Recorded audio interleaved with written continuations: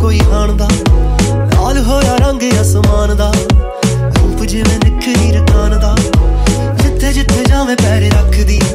ਸੋਹਣੀਏ ਬਰਫ਼ ਵਾਂਗ ਠਾਰੇ ਗੱਭਰੂ। ਮੰਗ ਲੈ ਦਿਲ ਲੈਣਾ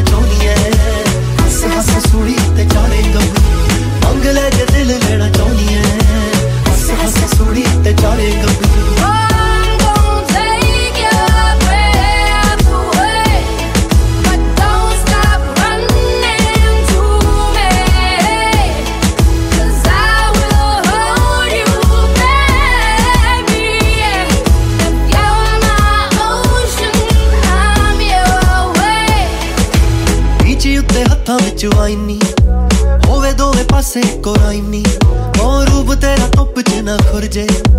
ਆਂਦੇ ਆ ਪਤਾਸੇ ਕਰੇ ਸ਼ਾਈਨ ਬਾਜਵੇ ਦੀ ਹੋ ਜਾ ਡੁੱਬ ਜਾਣੀਏ। ਅੱਥਰੇ ਤੇ ਸਾਂਝਾਂ ਵਾਲੇ ਸਾਰੇ ਗੱਭਰੂ। ਮੰਗ ਲੈ ਜੇ ਦਿਲ ਲੈਣਾ ਚਾਹੁੰਦੀ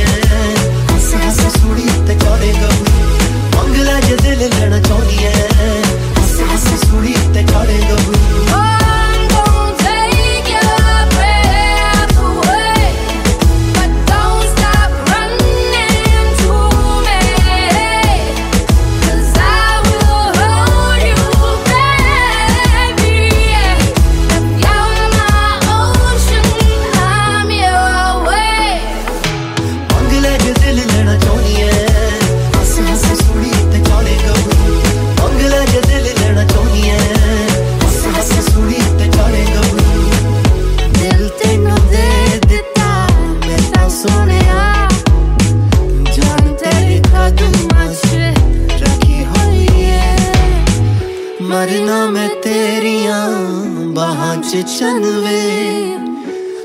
ਤੇਰੇ ਪਿਆਰ ਦੀ ਮੈਂ ਚੱਕੀ ਹੋਈ ਏ